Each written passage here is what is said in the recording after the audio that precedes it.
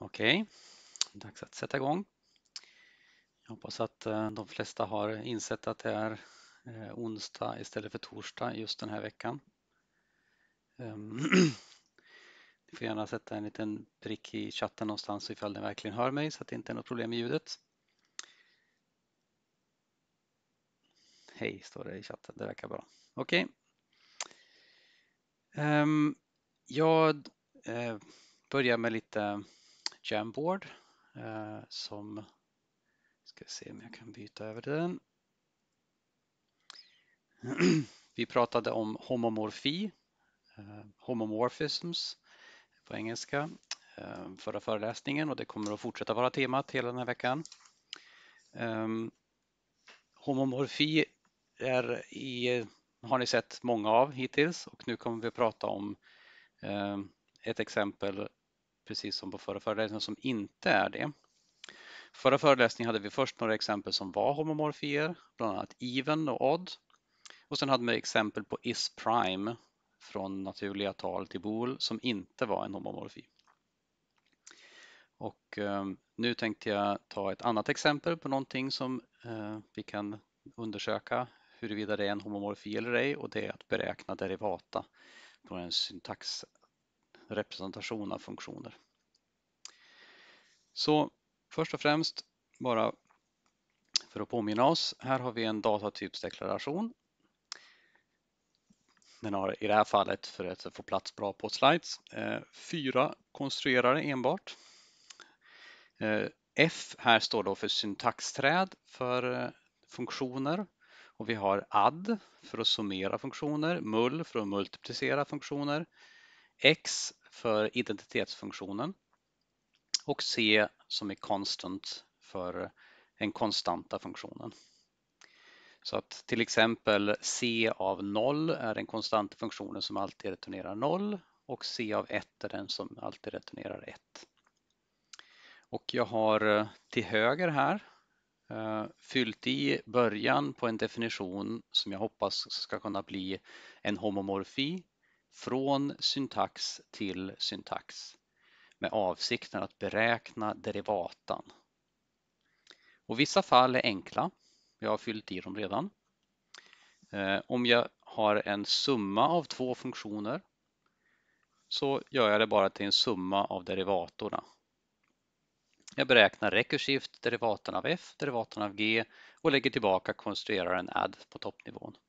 För vi vet att derivata är en linjär operation som tar en funktion till en funktion och eh, det blir det enkla fallet. Och sen hoppar jag över multiplikation och går till det tredje fallet där vi då har derivatan av x. Där jag har valt variabelnamnet x här eller konstruerar namnet x för att man ska tänka på som uttryck brukar skrivas eh, uttryck i termer av x. Så den blir alltså den konstanta funktionen 1. Så om jag deriverar x får jag konst 1. Deriverar jag vilken konstant som helst så får jag konst 0. Så en sak värd att notera är att det glöms en del information här. Den här konstanten försvinner och jag får bara en nolla. Och det innebär om man skulle vilja implementera inversen av derivatan, alltså en integral funktion, då skulle man bli tvungen att uppfinna den här konstanten på nytt. Vi kan alltså inte helt invertera derivering för att det blir eh, beroende på vilken konstant vi har så kan vi aldrig komma tillbaka till just den konstanten och det är därför som man har det här vanliga när man integrerar algebraiskt att man säger ja integralen är detta plus en konstant, en okänd konstant. Så det är det här fallet att man slänger bort information. Men hur gör vi då med multiplikation? Så vi kan i alla fall ta eh, idén med wishful thinking, alltså en vanlig rekursiv definition. Vi antar att om vi först har deriverat f och sen har deriverat g så behöver vi någon slags mull d för derivata. Mull d för att beräkna eh, derivatan av f gånger g. Okej, okay. och frågan är då, existerar det en mull d så att, och här använder jag notationen för förra föreläsningen, vi har en två argumentations eh, homomorfi här, där är en funktion från syntax till syntax i och för sig och den ska ta konstrueraren mull, den binära operatorn, till den här funktionen mull-d. Och nu kan vi säga att om man bara har det kravet, bara kräver att funktionen ska vara en homomorfi, då existerar det helt säkert MULDI. För som jag har definierat derivatan här uppe så kan jag fylla i precis vilken funktion som helst som MULDI. och den kommer i så fall av definitionen att vara en homomorfi. Så det är för enkelt att bara säga existerar det en homomorfi här? För det finns det. Det finns massa olika meningslösa homomorfier. Mulde kan till exempel alltid returnera konst 3 om den vill. Det är en homomorfi, men den är inte korrekt. Och vad menar vi med korrekt? Ja, tanken med namnet der här för derivative eller derivata är ju att där ska implementera den semantiska operationen som vi brukar kalla för stora D. Så stora D tar en funktion från RTR och ger en annan funktion från RTR som är dess derivata. Och vi vill på syntaxsidan implementera den. Men det här är förstås inte ett korrekt eh, logiskt uttryck där implements det utan vi behöver på något sätt formulera vad innebär detta? Så innan vi går vidare ska vi titta på den delen. Och då har jag ritat en litet typdiagram här uppe. Så det här är ett eh, typiskt diagram och jag har behållit av där-funktionen enbart dess typ. Och dess definition får vi återkomma till senare.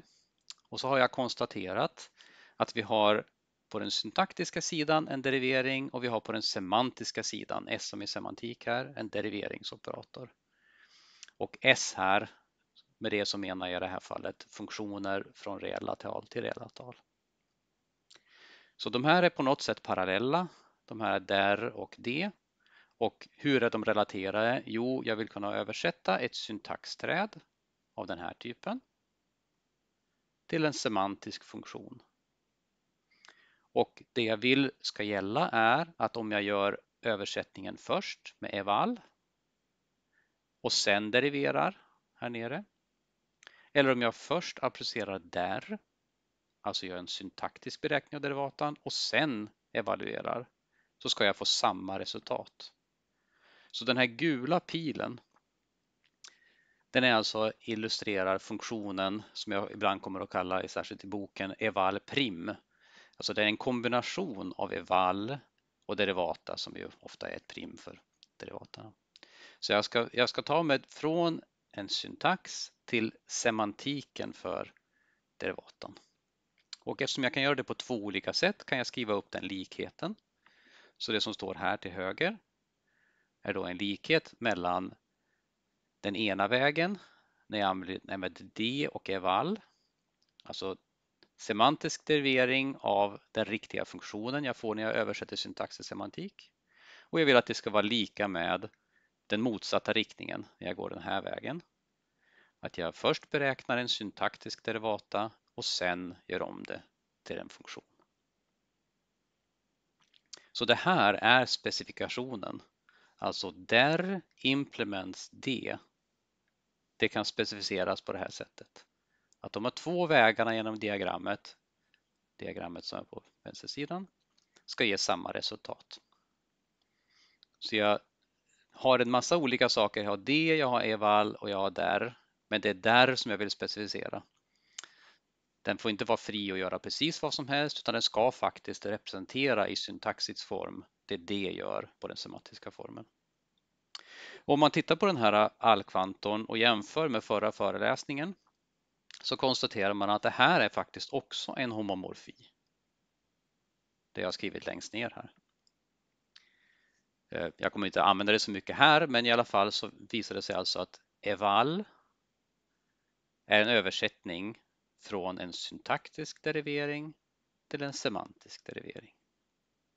I alla fall vill vi att det ska vara det. Än så länge har vi inte lyckats bevisa att vi kan implementera derivatan. Men vi har i alla fall den specifikationen med kravet att den ska göra rätt så att säga. Den ska göra det som det gör på andra sidan. Så då det totala påståendet om man översätter där implements D blir alltså det existerar en mull-D-funktion så att där är en homomorfi från mull till mull-D och eval är en homomorfi från där till V. De två sakerna vill vi ska gälla samtidigt och frågan är finns det en sån?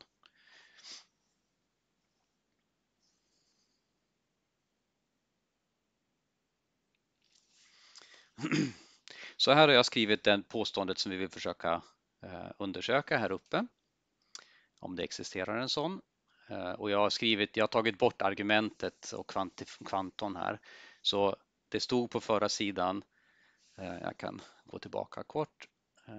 Där stod det för alla F så ska det här gälla. Men om jag noterar att för alla F av någonting applicerat på f på två olika sätt. Det är faktiskt funktionskomposition av d och eval och det är funktionskomposition av eval och där.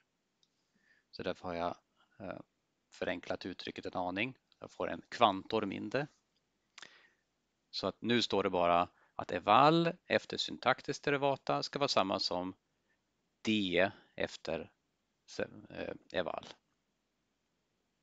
Så man kan undra vad har kvantorn tagit vägen? Jo, den har gömt sig i likhetstecknet här. Om jag kräver att två funktioner är lika så kräver det att de ska vara lika för varje argument. Så att definitionen av likhet mellan funktioner är att den är lika för varje argument som där kan appliceras på, och kan appliceras på. Okej, okay. om vi nu försöker, eh, jag kan säga att, att slutändan kommer att vara ungefär som i isprime, att det finns inte någon sån här mull-D. Och för att eh, gå åt det hållet så kan vi försöka göra ett motsägelsebevis, det vill säga anta att det finns en MULD som uppfyller båda dessa villkor och leta efter en motsägelse. Jag skriver den som false här, den symboliska beteckningen av false. Så att eh, vi vet i alla fall, vi har antagit då att den här gäller. Det är den här första H2-sidan den här ekvationen och dessutom våran eval-funktion gäller. Och då kan vi försöka påminna oss hur vi betedde oss för att hitta ett motexempel i fallet med isPrime. För isPrime så gjorde vi det att eftersom den här likheten skulle gälla för alla x och y så letade vi efter så att säga lämpliga par av värden, lämpliga värden som visar att det inte kan gälla. För det räcker att hitta ett enda motexempel så har vi motbevisat det. Och i det fallet så sa vi att x och y är 2 och x streck lika med 3. Nu har jag hittat på tre variabelnamn bara. De var exempel som kunde visa att det här inte kunde vara en homomorfi. Och vad, på vilket sätt var det det? Jo, vi kom fram till att x och x streck, de två varianterna, båda två är primtal. 2 är primtal och 3 är primtal. Men summan av x plus y och summan av x streck och y, alltså jag håller y konstant, jag bara ändrar på x till x streck. Den är olika. Så det här var 2 plus 2 lika med 4, vilket inte är ett primtal. Och det här var 3 plus 2 lika med 5, vilket är ett primtal. Och om vi påminner oss varför var det här nu plötsligt ett motbevis mot att is prime skulle vara en homomorfi Jo, det var för att regeln som vi har är att summan, alltså is prime av x plus y är samma som is prime av x och så med det här plusset vi hade is prime av y. Men dessutom vet vi att is prime, oj, is prime av x streck plus y är lika med is prime av x streck kryss is prime av y. Och vi har just konstaterat, vi har valt exempel så att de här två är lika, alltså de här två är samma. Så eftersom det här argumentet och det här argumentet båda två är samma till operatorn kryss, så vad den än gör så i dess tabell, i dess 2x2 tabell, så finns det en ruta som måste ha både det här värdet och det här värdet samtidigt. Och när vi då visar att de här två inte är lika med varandra så har vi hittat en motsägelse. Det vill säga när vi hittar att false inte är lika med true så har vi hittat en motsägelse. Så då vill vi göra samma sak här. Vi vill hitta värden på f, g och någon variant av f som jag kommer att kalla för f-streck. Så då går vi ett steg framåt i mina förberedda anteckningar. Så här har vi alltså detta f och det är f-strecket och g. Så att två eh, funktioner där, eller därav f och f-streck ska vara samma men däremot derivatan och multiplikationen ska vara olika. Så hur kan vi först hitta då två stycken uttryck f och f-streck som har samma derivata men inte är samma själva. Alltså vi har två olika värden på f för annars är det inget hopp om att de här multiplikationerna ska bli olika. Men de ska ha samma derivata. Är det någon som har ett förslag på f och f-streck som skulle kunna ha var olika men har samma derivata?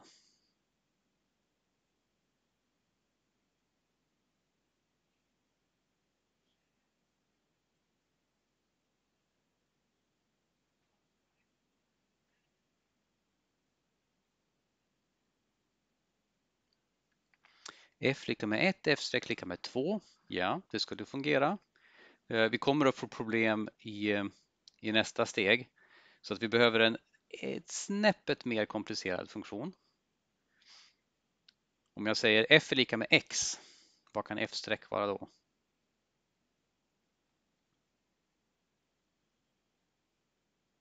x plus 1. Mm -hmm. Så att vi kan alltså eh, prova om vi kan välja att f är lika med, ja faktiskt f är lika med g är lika med x och f streck är lika med ja, x plus 1 moraliskt sett. Det, I den här syntaxen som vi har här uppe så blir det då add eh, x konstant 1. Och vill man vara lite eh, petig med, med likheten här eh, så får man faktiskt ta en aningen mer komplicerad funktion eh, som variant. Så den jag har skrivit här på nästa slide, nämligen f är x plus 0 och f' är x plus 1. Så det är bara för att komma runt en detalj och det är att när jag beräknar derivator i den här enkla funktionen så förenklar jag inte uttrycken alls. Så add x konstant 0 derivata är add konstant 1 konstant 0. Det är fortfarande en add. Och på f' så får jag också då add konstant 1, konstant 0. Så att då är de verkligen, båda två har en add-konstruerare. Om jag hade byggt in en förenklingssteg, algebraiska förenklingar, så att add med en konstant 0 returnerade x, då skulle jag inte behöva det här steget. Men nu för att vara petig så, så kör jag det att f är en summa av x och 0 och f' är en summa av x och 1. Och sen har jag g bara lika med x. Och nu så har vi hittat i alla fall exempel som uppfyller det första kravet att derivatan är samma, de är själva olika och sen hoppas vi då att derivatan av produkten ska vara olika. Så vad är derivatan av produkten? Ja, informellt i alla fall kan vi säga att derivatan av produkten, vi kan, om vi skriver det eh, f gånger g här istället. Eh, så är det alltså derivatan av eh, f var x plus 0. Så att om vi, om vi gör alla förenklingar och sånt så får vi någonting i stil med oj, sorry, ett snäpp bakåt x kvadrat. Vilket ju blir 2 gånger x. 2 gånger x och eh, derivatan av f' gånger g Å andra sidan blir derivatan av x kvadrat plus x. Vilket då blir inte riktigt samma sak. Det blir 2 gånger x plus 1. Så nu skriver jag de här citattecknen, de här fnuttarna här eftersom det här är ju inte riktiga syntaxen. Det ska stå add och mull och konstant och, och, och x och sådana saker. Men bara liksom själva intuitionen i det är att vi faktiskt har hittat ett exempel på eh, ett uttryck där f gånger g och f streck gånger g är tänkt att vara olika funktioner. Eh, det är lite informellt så då får vi gå ett eh, snäpp framåt och se om vi kan göra det aningen mer formellt. Ja, första steget var det jag sa nyss. Eh, det var det här att bådas derivator är verkligen add C1, C0. Så att båda har identisk derivata. Jag hade två steg emellan där. Och sen kommer det lite längre beräkningen. Det här är alltså motsvarande det jag skrev med citattecken. Och då tar vi det i några steg. Så först här uppe till höger. Det här hade jag just sagt på förra sliden. Derivaten av f och g är samma och det är egentligen 1. Men det är syntaktiskt träd här är add c1 c0. Sen definierar jag bara för att hålla reda på vad vi har ett h som är mull d av derivaten av f och derivaten av g. Och vad nu än de här är Även om jag inte skriver ut dem så vet jag av min homomorfilag att det ska vara samma sak som mull på de här två derivatorna ska vara samma sak som derivatan av mull FG. Och på samma sätt kan jag skriva H-streck. Jag bara hittar på ett till namn. Det är inte någonting som fanns förut. Jag bara hittar på dem för att det ska vara lättare att hålla isär vilka värden vi har. Den är derivaten av mull F-streck och G. Precis som det andra var mull F och G. Och den är då enligt homomorfilagen mull-D av där f-streck och där G. Och vi vet att där av f-streck är samma som där av F. Så att mull-D här får samma argument och samma argument som den fick här uppe. Och därför måste det här vara precis lika mycket som H. Så vi har definierat h-streck på två olika sätt, men de har samma värde. Så även om vi inte vet vad värdet är så måste det vara samma värde. Blått streck där. Okej, okay.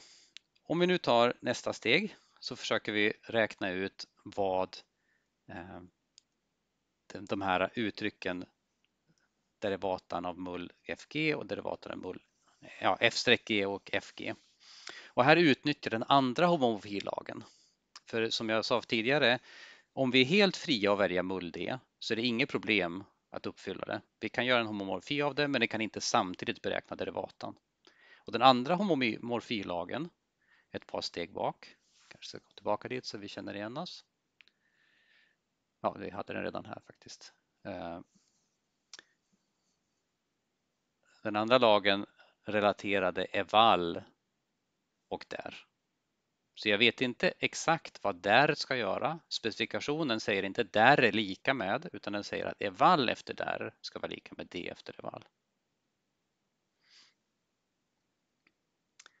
Så i det här fallet så behöver jag då räkna ut eval av där av mull FG. Det vill säga eval av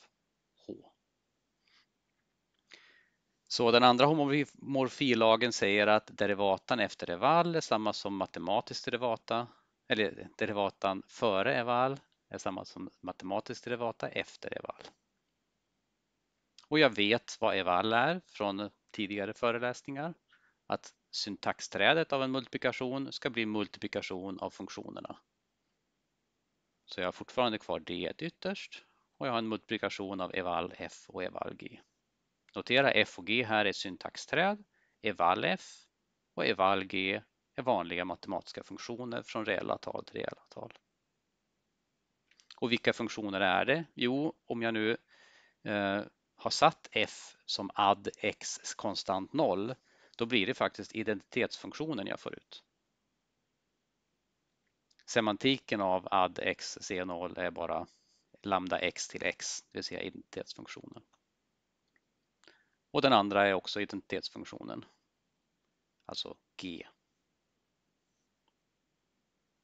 Okej, okay, så jag ska räkna ut den matematiska derivatan av punktvis produkt av två identitetsfunktioner. Ja, punktvis produkt av två identitetsfunktioner det är alltså i praktiken funktionen som kvadrerar sin indata. Och den hade vi också räknat ut på en tidigare föreläsning. Det är funktionen som multiplicerar sitt argument med 2. Så det här var då beräkningen av eval av h. Jag kan kanske lägga till det här. Eval av, oj. Eval av h. Precis, så jag fick plats. Okej, okay. sen nästa steg är att beräkna eval av h-streck. Oj, jag menade inte att rita, jag skulle ha fel pekare istället. Så, eval av h-streck. Och på samma sätt, om jag nu räknar ut det här steg för steg, så kommer jag komma till att jag ska derivera funktionen lambda x till x plus 1 gånger x. Och som vi hade på förra sliden, det är ju då funktionen som returnerar 2x plus 1. Okej, okay, så på ena sidan har vi räknat ut vad eval h av x blev och det blev 2 gånger x. Och på andra sidan har vi räknat ut eval av h streck som var 2 gånger x plus 1. Och de här två uttrycken kan inte vara samma. Vi behöver bara sätta in x lika med 0 så ser vi det. Men de är inte lika för x lika med 3 eller 7 heller. Men det räcker att testa med ett värde. Funktionerna för att vara lika måste vara lika överallt och de här är inte lika någonstans.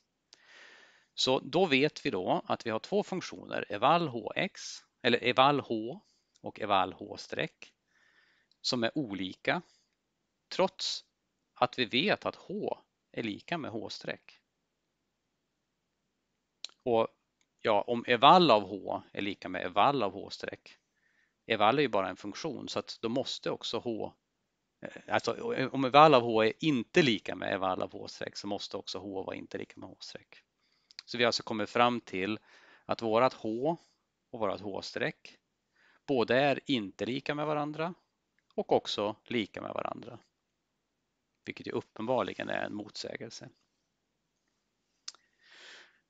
Okej, okay, så att vad har vi kommit fram till nu? Vi har liksom räknat och räknat och räknat och bevisat att det inte existerar um, det inte existerar en mull-D så att de här två villkoren är uppfyllda. Det kan inte existera någon sån. Så det här frågetecknet vi hade alldeles i början, är det här en homomorfi? Ja, det, det fungerar inte om vi också vill att den ska implementera derivatan. Och då kanske man blir lite förvånad så här och tänker till, men vad i hela fridens dagar kan vi inte beräkna derivatan syntaktiskt? Det gör vi ju hela tiden på papper. Vi liksom skriver ut vad derivatan är. Ja, det, det vi har bevisat här är inte att vi inte kan beräkna den, utan vi har bevisat att den här är inte en homomorfi.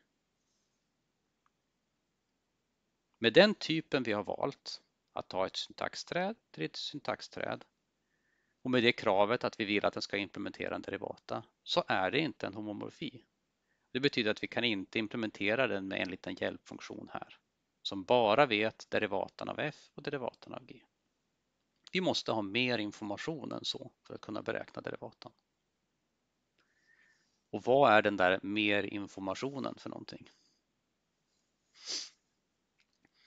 Ja, här har jag skrivit en definition som beräknar derivatan och som fungerar men som då inte är en homomorfi. Och då har jag hittat på den inte särskilt talande funktionsnamnet m och skickat med den extra information jag behöver. Så förutom att veta vad f's derivata är och vad g's derivata är så behöver jag också veta vad f är och vad g är. Så m är nu en funktion av fyra argument som returnerar ett syntaxträd.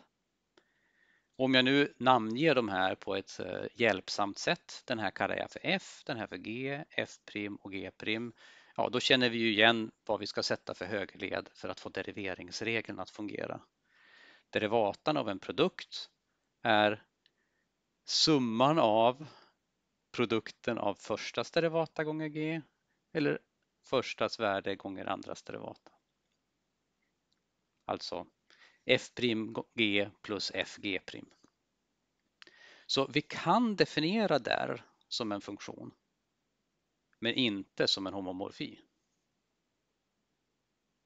Och problemet var att vi saknade information. Precis som när vi beräknar om ett tal är primtal eller inte och sen försöker addera dem så har vi förlorat för mycket information när vi beräknade derivatan, eller ja, derivatan här och derivatan där. Om vi bara vet den så kan vi inte gå tillbaka och lista ut vad f och g hade varit från början.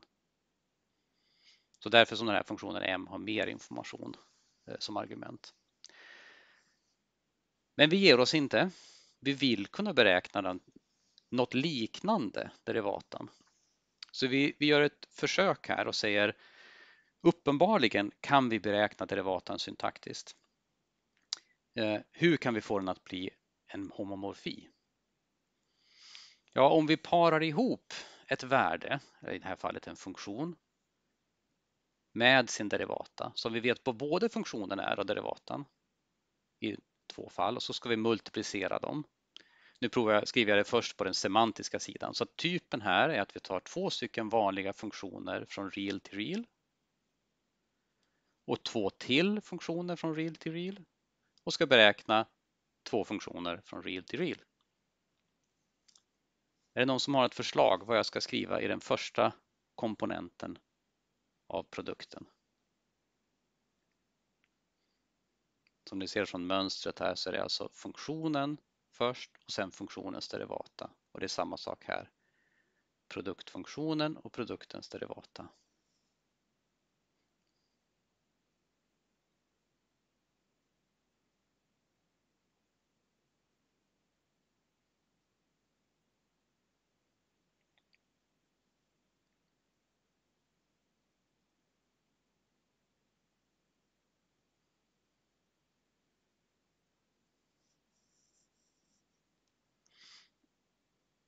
Och det jag försöker uppfylla här är att jag hela tiden ska ha den första komponenten som funktionen.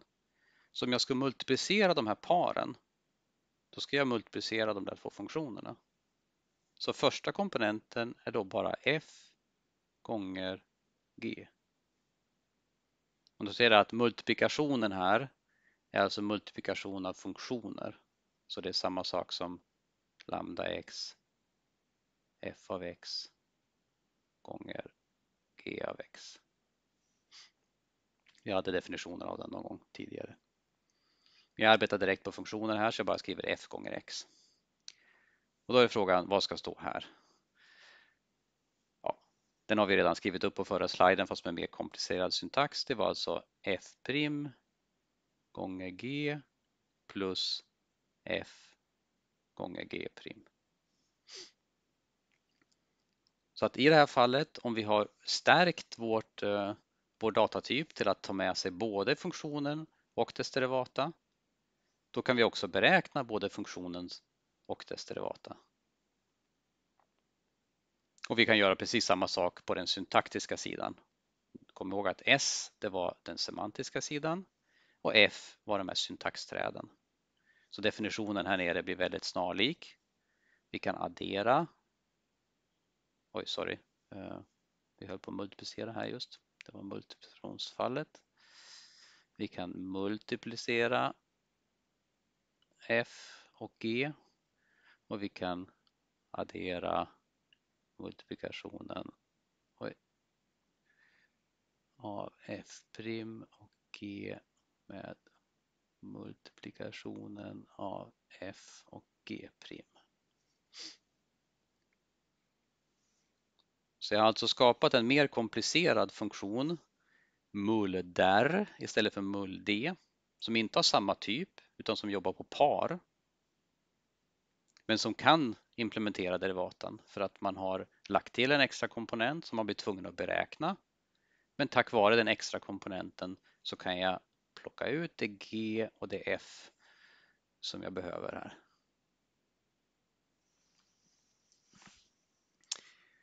Okej. Okay. tror att det här är bara en reservslide så se till att det blev rätt. Ja, det är samma sak som jag hade skrivit redan. Så om vi nu försöker se vad vi håller på med så finns det kanske hopp då att skriva inte där, för den har vi visat att den kan inte bli en homomorfi. Men kanske vi kan skriva där 2 av den här typen. Alltså ta ett syntaxträd och skapa ett till syntaxträd tillsammans med syntaxträdet för dess derivata. Så den, den gör alltså en, vad ska vi kalla det för från förra föreläsningen, deep copy här och den derivatan här. Och vi har redan implementerat mull där på förra sliden. Och den som anrop, alltså när den får en mull FG så beräknar den F, funktions, funktion och derivata och Gs funktion och derivata. Och sen kombinerar mull där de här paren. Och då är frågan, kan vi göra samma sak i add-fallet? Alltså kan vi implementera en väldigt kladdigt skriven add-där som givet ett par av f och dess derivata och g och dess derivata beräknar derivatan av paret. Är det någon som ett förslag på vad som ska stå i de här två rutorna?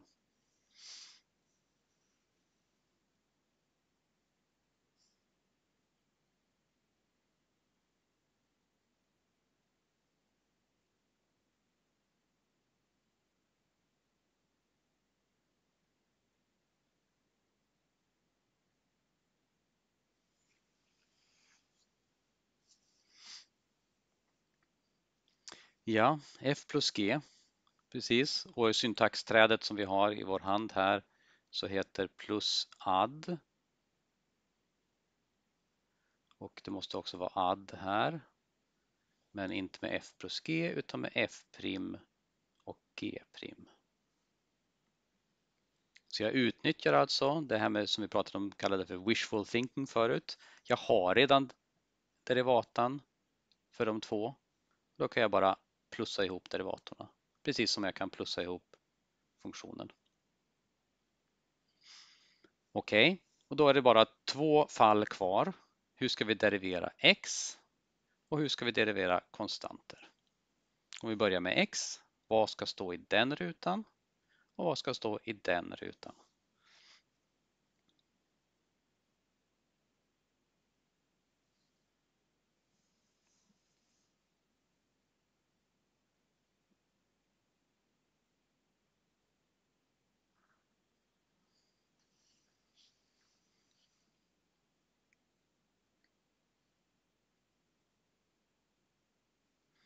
X,1 står här, ja precis. Syntaxträdet X och konst 1. Så ni ser att vi kopierar X och vi kombinerar det med sin derivata. Och då kan vi ju tänka oss att samma mönster här. Vi kopierar konst C och via derivatan konst, oj nu blev det lite för liten nolla, konst 0. Så vi har alltså definierat en funktion som inte bara beräknar en derivata, vilket är den andra komponenten, utan också kopierar sin indata. Så hela vägen nerifrån och upp så returnerar den eh, så att säga sig själv i det första argumentet och derivatan i det andra. Och orsaken att den gör det är att då har vi den information vi behöver för att mulder ska fungera. Den var inte en homomorfi om vi hade bara ett enda f här men när vi väljer att arbeta med par, då har vi faktiskt den informationen vi behöver. Så om vi nu, eh, just det här var bara ifyllt, det, det som jag redan hade fyllt i med er. Så vad är då specifikationen på den här DAR2? Ja, då har jag skrivit ett litet uttryck här. Alltså om vi anropar DAR2 på ett syntaxträd som jag kallar för FE. FE och ja, alla F, F' och FB här och alla typen F, alltså syntaxträd som beskriver funktioner. Då får jag ut en funktion, ett syntaxträd för funktionen F och ett syntaxträd för dess derivata. Och vad har vi för krav? Jo, vi vill att eval av F ska vara samma som eval av det vi satte in. Det här. Det ska vara samma funktion som representeras. Och vi vill att derivatan av eval av f ska vara eval av den syntaktiska derivatan. Det här är alltså likhet mellan eh, funktioner RTR i båda fallen. Då. Så det här är ett, inte ett Haskell-uttryck utan det är ett predikat kan vi säga. Om vi anropar där två så vill vi få ut två funktioner som är relaterade på det sättet. Notera att det finns en viss frihet här. Jag säger att eval av f ska vara samma som eval av fe. Men det betyder att där 2 kan implementeras som vi gjorde det, men den skulle också kunna göra vissa förenklingar. Till exempel det vi pratade om förut, att x plus 0 skulle kunna förenklas till bara x. Eller x gånger 1 skulle också kunna förenklas till bara x. x gånger 0 skulle kunna förenklas till 0 och så. Så länge som vi uppfyller att Eh, semantiken är bevarad. Och om ni testar att implementera den här funktionen själva så kommer ni att se att man ganska snart vill ha en funktion, en sån här förenklare, simplifier. Eh, alla algebra, datoralgebrasystem har inbyggt förenklingsalgoritmer för att det blir lätt stora komplicerade uttryck annars. Okej, okay, så då har vi lyckats komma fram till att det vi hoppades på från början, att implementera en homomorfi för att beräkna derivatan, är nästan möjligt. Och det här nästan är det som jag har ringat in i mitten. Eller inte ringat in än, så jag kan ringa in det nu. Um, nämligen att vi kan inte derivera, eller vi kan inte beräkna en homomorfi som gör derivataberäkningen. Men vi kan göra en homomorfi som är starkare än så, där 2, som beräknar ett par av identitetsfunktionen och derivatan. Och sen kan vi bara plocka ut den andra komponenten av det paret, f'. Och den funktionen vi får om vi sätter ihop de här två, den funktionen, trots att den inte är en homomorfi, kan ju då beräkna derivatan eh, med hjälp av den homomorfin där 2 och den triviala funktionen second som bara plockar ut andra komponenten ur ett par. Okej, okay. Efter paus kommer vi att, att köra lite Haskell-kodning, men vi har alltså gjort nu i samma stil som vi gjorde i förra föreläsningen eh, en användning av homomorfilagarna. Först för att bevisa att eh, en viss funktion inte är en homomorfi. I det här fallet, då var det ace prime och nu var det där. Och sen gjorde vi en justering av funktionen. I det här fallet genom att para ihop den. Och den här tekniken att para ihop en funktion tillsammans med i det här fallet identitetsfunktionen. Det är en väldigt kraftfull teknik som brukar kallas för, för tupling transform eh, som väldigt ofta är användbara. Ehm, det finns i föreläsningsanteckningar, alltså i boken, i kapitlet, så finns det två andra exempel på när man gör det. Ett exempel med vanlig eh, show-funktion, man vill skriva ut ett uttryck med så få parenteser som möjligt. Och det andra med eh, en variant av det exemplet jag tog idag, det här med derivatan, den funktionen jag kallar för eval prim. Och det är nyttigt att gå igenom dem eftersom eh, A2, alltså labb 2, är egentligen att göra det jag har gjort hittills på den här föreläsningen, men med tripplar istället för med par. Så att titta igenom detta och eh, försöka följa med i alla steg i det som görs i kapitel 4 när det gäller eh, eval prim är en väldigt nyttig eh, början på att göra eh, labb A2. Okej, paus.